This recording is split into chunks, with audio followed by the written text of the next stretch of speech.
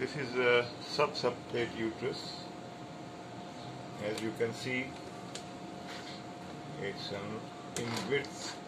It measures approximately 13.6 and one of the reasons for its expansion in width is because of these two uh, well demarcated hypoechoic heterogeneous solid areas, solid lesions. This one in the left horn of the uterus and this one, this is the second one and it measures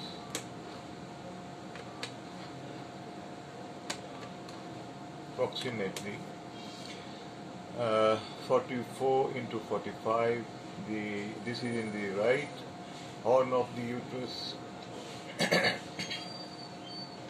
so these are two solid echogenic, rather heterogeneous well demarcated areas giving no posterior shadow and is consistent with a fibroid in this location.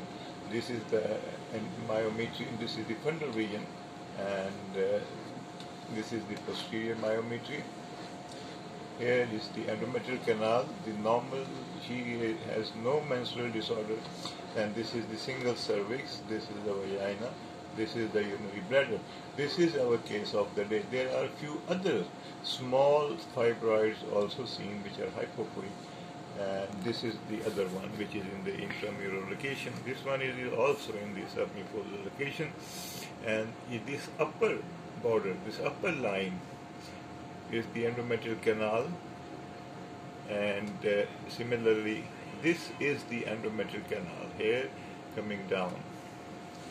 Now you focus on these areas, this one, the endometrial canal, subserosal fibroid, this one, uh, sorry, uh, submucosal fibroid, it is in the submucosal location, in the left horn, and this is the uh, sub, uh, submucosal fibroid uh, sparing the endometrial canal, this one, and it's also solid, no posterior wall enhancement. So he, the, the complaint of the patient is that he feels a lump in the umbilical region because this I can trace up to the uh, now this is the umbilical region and here is the uh, fibroid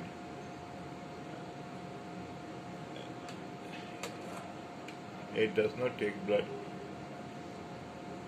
this is the right horn of the uterus this is a well demarcated echogenic area. Okay, now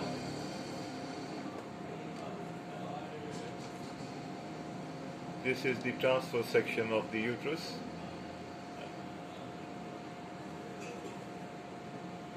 Now this is the transverse section of the uterus and you will see both. This is one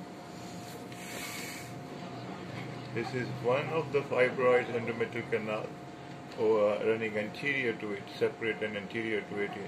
So this is a fibroid in the submucosal location in the right horn.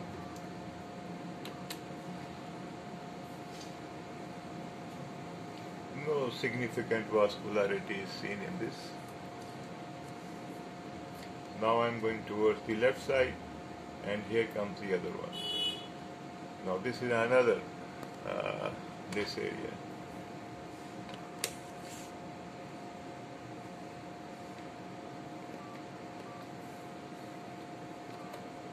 This one. This is the other area. Fibroid. Solid layer. Heterogeneous. Now I am going to move the probe from the transverse to the longitudinal section. Now this is the longitudinal section of the uh, right of the, on the left side, and here I move the probe towards the angle the probe rather towards the uh, right side here. We do see some blood within this. This is the left, sorry, right side.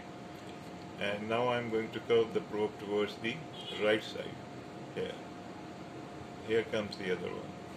In the center of your screen. This one, this area. So there are uh, two fibroids in submucosal location in mild vascularity, both are heterogeneous and uh, the uterus is bicornuate. We do not see any significant calcification internal um, at the margin or internally. Cystic areas are seen within it, and uh,